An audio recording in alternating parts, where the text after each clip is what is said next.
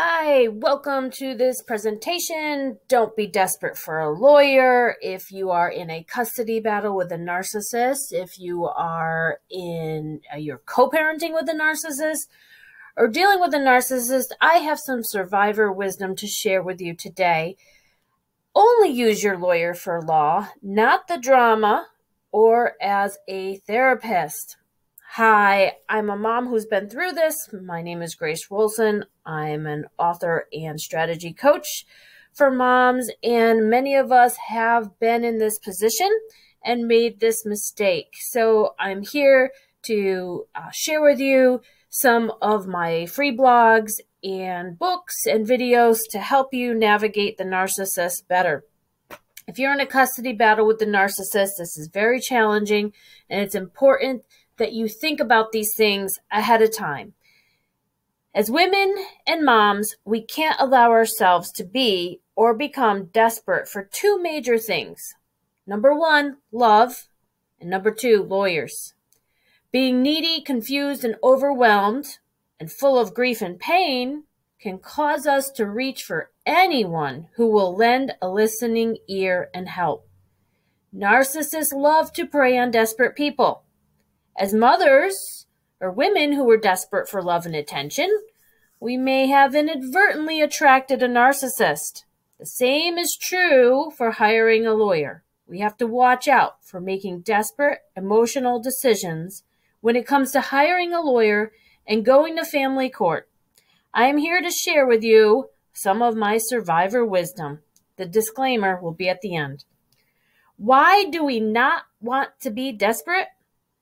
Because people, even professionals, who could also be narcissists, can smell desperation like a shark can smell blood.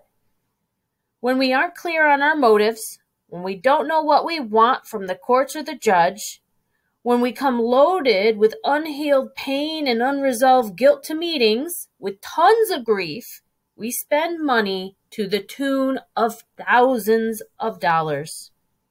In desperation and pain, we aren't focused enough to see through the cloud of conflicting emotions, and neither is the lawyer. Lucky and unlucky with lawyers? It's not just luck, it's planning and pre planning too. If the lawyer is ethical, you will be lucky.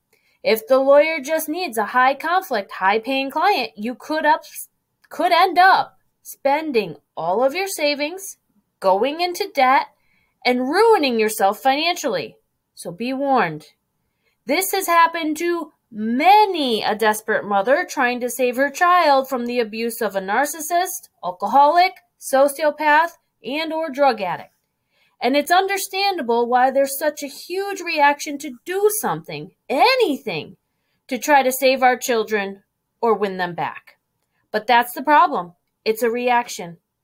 It's not a clear, calm strategy with patience and insight. It's a trauma filled, fear based reaction to hire an attorney who says what we want to hear at the time that he or she will fight, fight, fight, or file motions for you that go or may go nowhere. Are you wasting money on lawyers? If you're spinning your wheels in family court and getting nothing accomplished for your children, it may be time to stop. It may be time to educate yourself on narcissists and court battles with a narcissistic abuse expert. You can get an entirely free YouTube education on narcissism or read all four of my books on Amazon to see what you're up against. It also may be time to get real with yourself. For example, accept defeat in certain areas, recognize your mistakes, hire a coach, make a strategy, take a break from court, Spend time healing. Just focus on being a good mom or go to some parenting classes that are not court ordered, etc.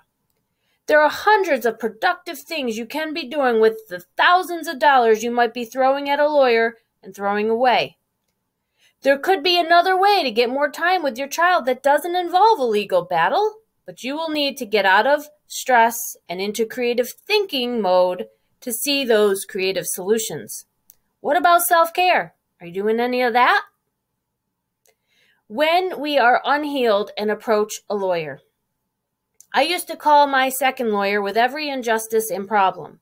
This became costly as lawyers make an hourly wage that was more than I made in a week. I had to find another way to deal with the drama and not bring this to my lawyer who would get easily sidetracked.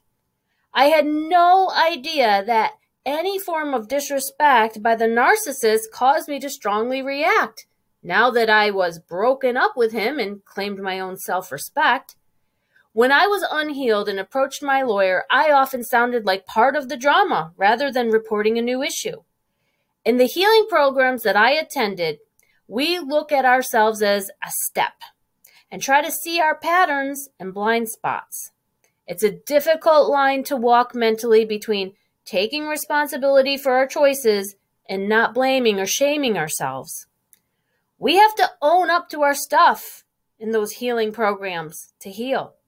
Even though the narcissist may have caused the trauma and abuse, like narcissistic abuse syndrome, it's our responsibility to heal from this. It may require a Herculean effort. It's no easy thing to lose custody or money to our abuser. It's hard to watch them get away with things and pathologically lie. Watching them dupe others and create flying monkeys and minions is infuriating. It's even more difficult to stand up to them in person or in, in court. It takes courage through connection, solid healing and recovery, and strength that is sometimes borrowed from others. You can pick up my newest book, How to Survive a Custody Battle with a Narcissist, when the family courts force you to co parent, for my tips, tools, and survivor strategies. Watch out for burnout. The fact is, we burn out. We are human.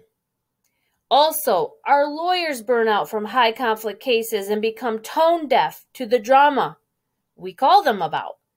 A better approach is to plan, prepare, and strategize. A better approach is to document the drama and label it in categories because organizing the disorder is one effective way to expose it. You have to show a pattern of behavior. Sometimes you need to sit down with someone and strategize how to handle your lawyer and what to use them for exactly. You may need a personal strategy and plan before you meet with your lawyer and develop a legal strategy in family court. I always recommend that moms first write down a list of 20 things they want to ask the courts and judge for. This list is important for the lawyer to focus on. If you don't know what you want, then you then why are you going to court and filing motions? It's important that when we bring the courts and the judge a problem, we also bring them some solid solutions and our requests. The book I mentioned actually has legal strategies named that I have had to use over the years. Yes, I had to be flexible, adapt, and change this entire process of parallel parenting with a narcissist and co parenting in a high conflict, costly custody battle. Stop yourself from self sabotaging behaviors. If you can't, get help. To avoid burnout, wasting time, and wasting money, you may need to stop yourself from reacting legally. You may want to ask your lawyer to postpone things, stop filing, delay motions, you may want to do some legal consultations with other lawyers about your case.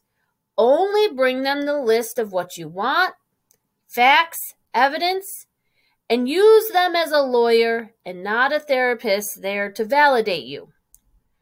Sometimes, no matter who your lawyer is, no matter how good they are, the narcissist tactics, money, and tricks are successful. This is why we have to plan for short term and the long term. We can't use up our entire savings from the first year of our child's life. The fact of the matter is, parents get rights. Even bad, neglectful, abusive parents get rights. Think about this. That's 18 years of parenting rights and protection that we will be attempting. And even the best lawyer can't fix the narcissist. Also, even the most competent, high powered attorney can't fix a broken, incompetent family court system that's unable to detect and punish an abusive, non-compliant parent in most cases. So, it may mean that we have to accept unacceptable conditions so to not keep ourselves in high levels of stress and then financially sabotage ourselves on lawyers. This is a journal entry. Just like I don't want to anger and annoy the judge by filing motion after motion, I don't want to appear unstable by hiring and firing attorney after attorney. If you see yourself sabotaging yourself financially with lawyers, legal fees, and court filings, it's time to get serious help. As protective moms, we have to be smart, stable, healed, whole, and sane. We can't go insane dealing with insane personality disordered people, such as narcissists, and corrupt professionals and lawyers, or incompetent, ignorant judges. We must maintain our sanity and security. This keeps us in our child's life. We have to practice self preservation to be there for our kids. Restore yourself to common sense and logic before taking action. Sometimes we have to be restored to common sense and logic. We aren't always reasonable or rational when it comes to our children.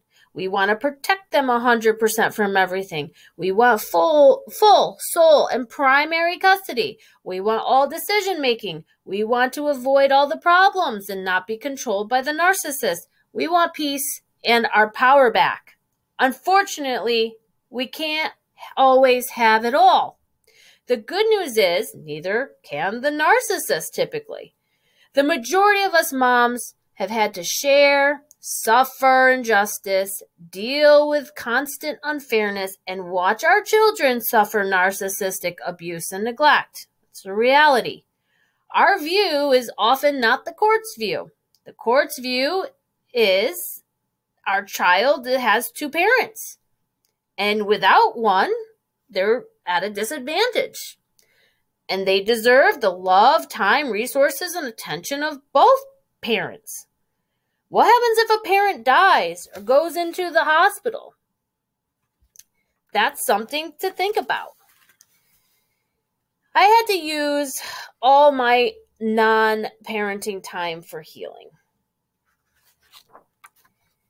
Recovery, research, and education on narcissism. The thing is, they don't want the child to become a ward of the state and cost the state money. When there are two adults showing up in court claiming responsibility and both are the child's parents. Sometimes it's important to see from the court's perspective to not take this whole ordeal personally. How do you not be desperate when it comes to your precious children or child? Well, it's one thing to feel desperate and triggered, it's another thing to act on it. When we go to buy something, we explore our options, we shop around. It is not wise to take the first lawyer we talk to, in most cases. That's why my Get the Right Lawyer guide has three of my 20 worksheet 20 question worksheets to interview potential attorneys. You can print them. I instruct moms to fill them out ahead of time, look at the questions, keep it simple, and ask what to document to win the case.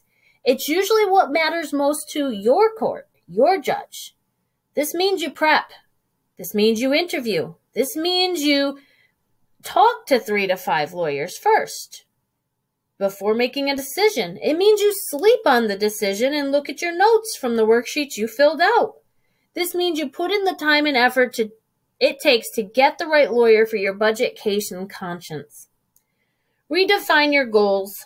Don't focus on winning, validation, or approval from the courts. Also, we can't be desperate to quote unquote win. We have to redefine what winning means in a child custody case. If we are so focused on not losing and winning, we may lose sight of what's most important. Often the narcissist is all about winning. They go for the quick and dirty win. They constantly go back to court to win some more if they previously won. The goals can't be about winning. Our goals.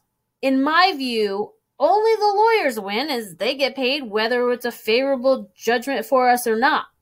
We need to focus on getting what our child needs to survive and thrive. That has to be the bar and the standard we set instead of winning. We have to mature beyond a win lose mentality. Adults learn how to lose gracefully and learn the lesson to not repeat it. As adults, we also learn not to tie our self esteem to a court ruling. Journal. Take time to write down what you're learning. What lesson have you recently learned? So, how do you not be desperate? You heal. You find the healing programs, you do them. You repeat them if need be. You try other healing programs for loss, grief, and guilt, and commit yourself to learning, healing, and growing. You get support, more than just a lawyer.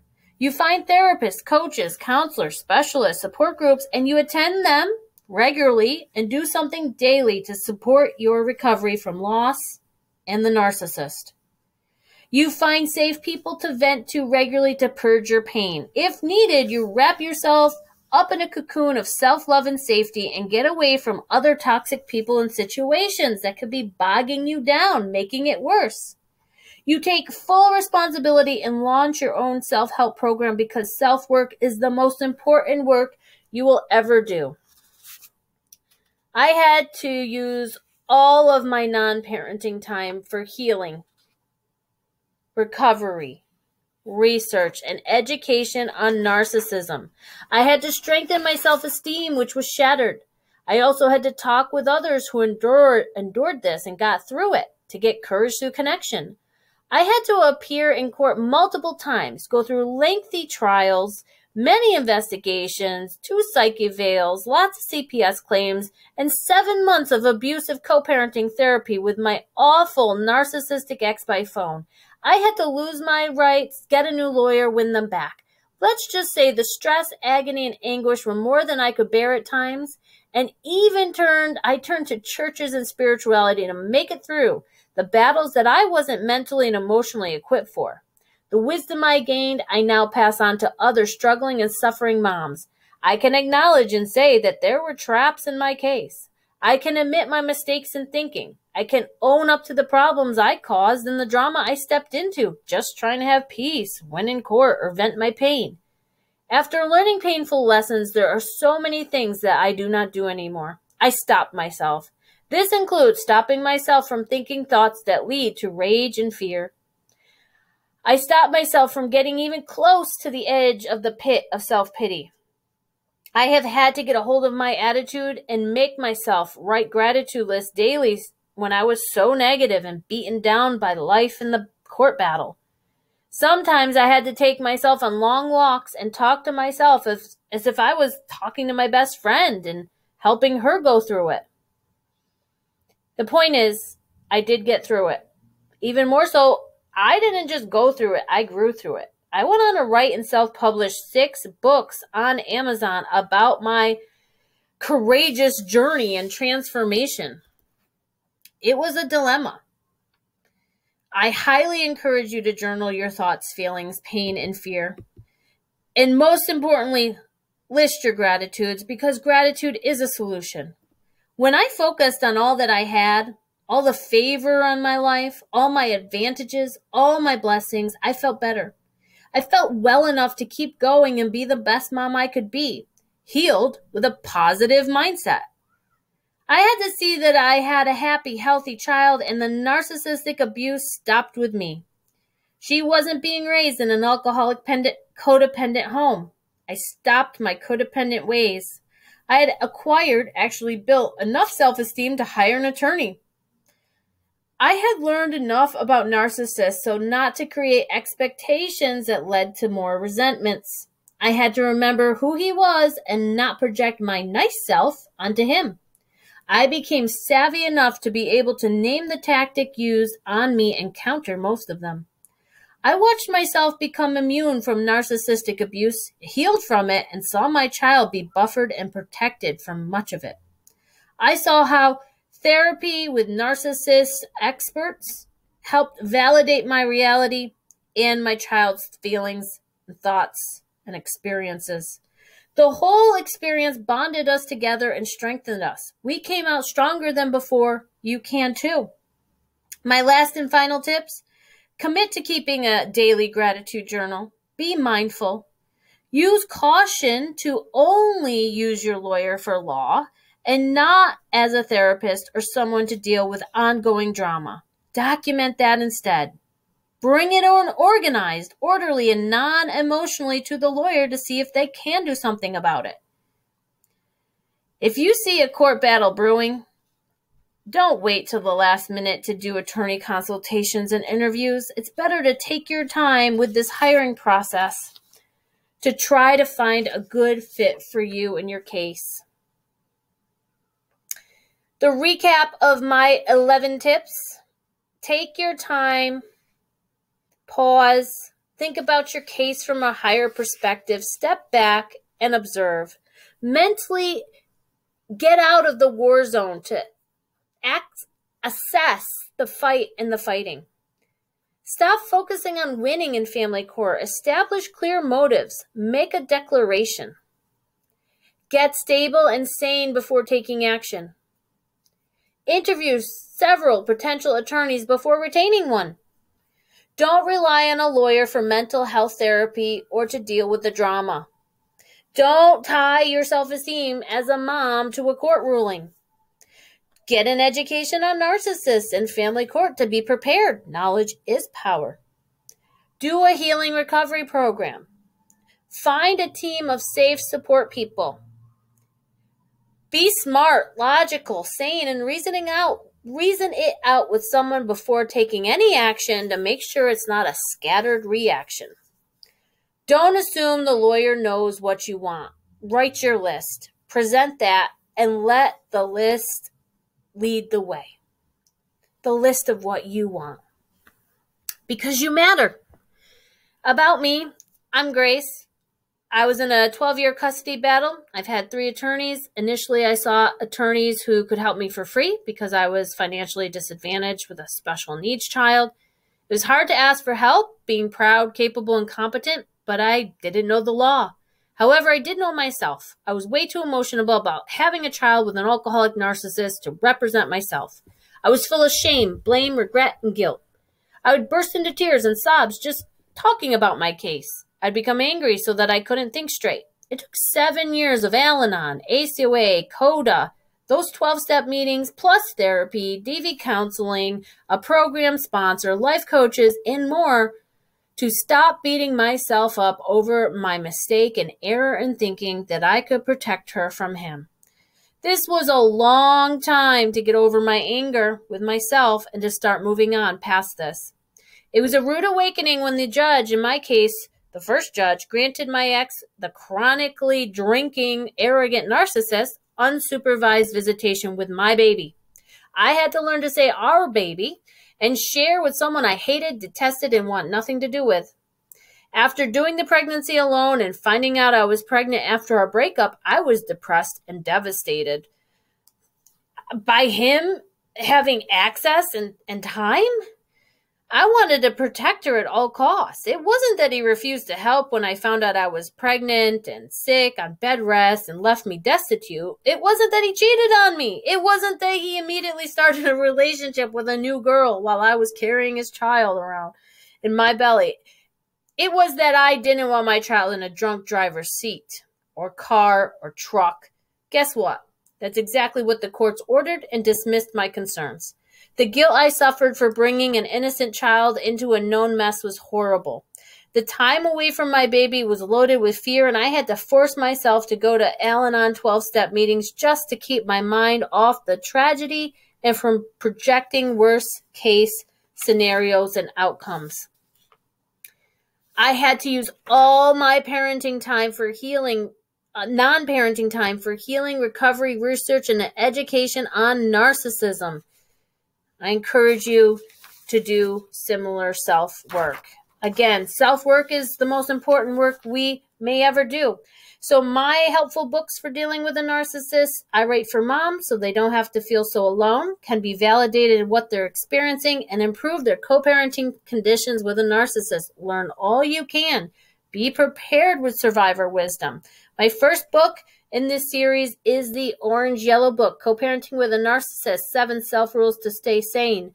My second book is How to Fight a Narcissist in Family Court and Win. My third is Co Parenting with a Sociopath Survival and Sanity Guide.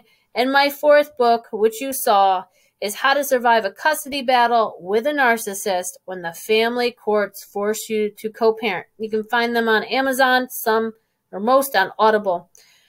This is my disclaimer. These are helpful tips based solely on my thoughts and opinions. I'm not a qualified mental health professor, professional nor a crisis caseworker. I cannot give legal advice or appropriate counsel and therefore not liable for any injury or harm in your case or to you or your child. Please follow your doctors, therapists, counselors, and lawyers' advice as well as your own good common sense and intuition based on your unique case to see if my tips could be helpful for you.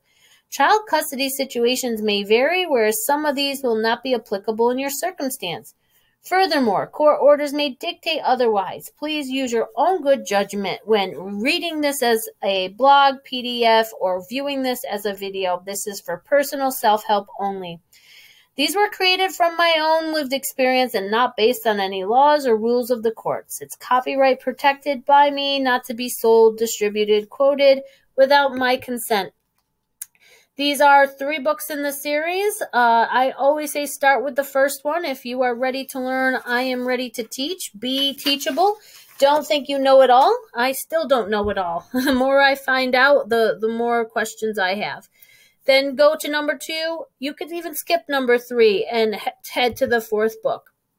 I have a three part strategy for co parenting and custody battles in my fourth book, which is the gray book with the rock tower on it the in that book are the legal strategies that I used. There's 20 of them, and you can find them on my blog and buy this as a single video or get them in my last book, the gray one with the rocks. I like to give moms in my Facebook group a heads up that the nonsense never ends with a narcissist and learn not to expect order from a disordered person. And I share my survivor wisdom that my healing was a psychological buffer for my child when dealing with a narcissist. I encourage you to heal, become sound and healthy again. If you've fallen apart, you can pick yourself up, put yourself back together, and put yourself back together strong. I give a lot of words of wisdom to don't let his disorder make you the disordered and disorganized parent. Get organized, which means you have to take your time. That's the first book available on Amazon, also available on Audible. I have a Navigate the Narcissist 11 video course. If you like this common sense wisdom, this talk it to you straight, it's better to hear from me than from a judge. uh, just to know that some of this is uh, happening in the family courts. You can get solutions for sanity and maintaining sanity from my first book and that video course. I have plenty of tips on how to communicate, uh, but it's really important that you set a stage that you are a sane person to communicate first. If you're being narcissistically abused, I have different tips that I use to stop the abuse. If you want to work one on one with me, I do uh, strategy calls for moms, and you can find my 10 to 8 scheduler below. I have free blogs on my website. I talk about the co parenting abuse. I label and name it so that it doesn't surprise me. I I know how to deal with it. I know how to document it. You can know that you're not alone. If you're being abused after you've left your abuser with co parenting abuse or financial or legal abuse, that's common with a narcissist. It's not personal. They typically all do this to their victims. I have a visual so that you can put this up instead of uh, getting so triggered and destabilized and confused. You can name it that it was control, gaslighting, uh, altering the past, or word salad.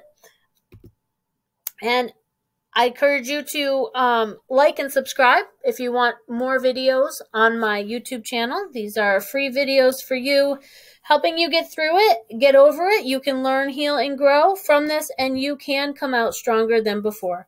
Thanks for watching. I'm author, award winning author Grace Wroldson. I'm a mother, a survivor, a life coach, and I, me and my child now thrive. Thank you for watching. I want the best for you. I wish you and your children peace, safety, and sanity.